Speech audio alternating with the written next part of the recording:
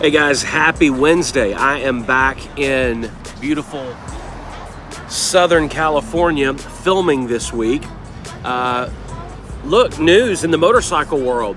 CEO Harley Davidson resigned yesterday. But listen, let's be honest. He just resigned from the Livewire, which is the dumbest motorcycle ever made so far, I think. Um, but I just want to implore maybe we go one step further and he just resigns from Harley Davidson altogether. Maybe then we can get away from the high dealer markups and these prices that are astronomical. The new CVOs coming out are like gonna rumors saying sixty thousand dollars. It's absolutely ridiculous. So do us one favor, Johan. Just resign from Harley Davidson total. Let's get back to the brand. Get back to what we love about it just my thoughts. Talk to you guys later.